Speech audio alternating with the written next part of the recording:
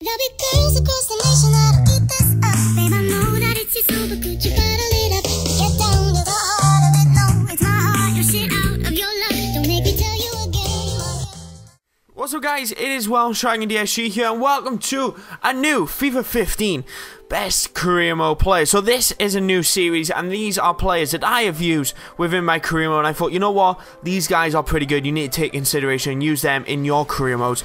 I've done a little research on several players that I would like, but we're going to be featuring one an episode, little quick review, and let's crack on into it. Make sure you drop the video a like, and thank you very much for your support. So the first player we are going to be looking at is a striker. Yes, you need someone to get those goals for you. He does play for FC Basel, and you may be know, knowing who I'm actually going to be going for is Breel Embolo. I almost said Ebola then, but Embolo he is a striker for FC Basel, an amazing, amazing young player. Does start off at 67 rated. Does have a potential of 83 rated, but does play in several positions. Main position striker, but plays also plays in cam, right mid, and centre mid. So very versatile.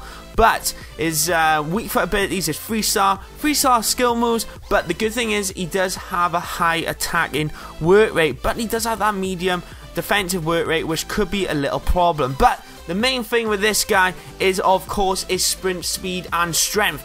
80 acceleration, 84 sprint speed, and his strength is at a total of 81. But he's a finisher, he's a striker. You're gonna have to have a good finishing. He only has 70 finishing, but that doesn't really matter in this game, in my opinion. Don't need 70, 70 finishing is actually pretty good, but you can shoot well from wherever you want. And this guy is going to put it in the back net, and he will obliterate any defender and his height as well. He also has the finesse shot trait, so you can just finesse it past.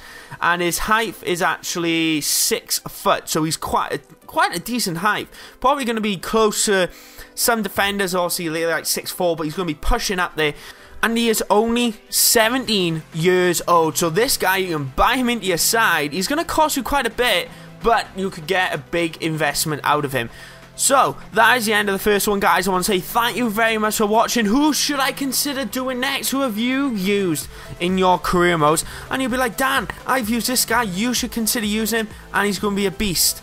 But anyway, guys, my name is Wildshine I want to say thank you very much for watching, and don't forget to leave the video a like, and I'll see you guys next time. Follow me on Twitter. See you later. Goodbye.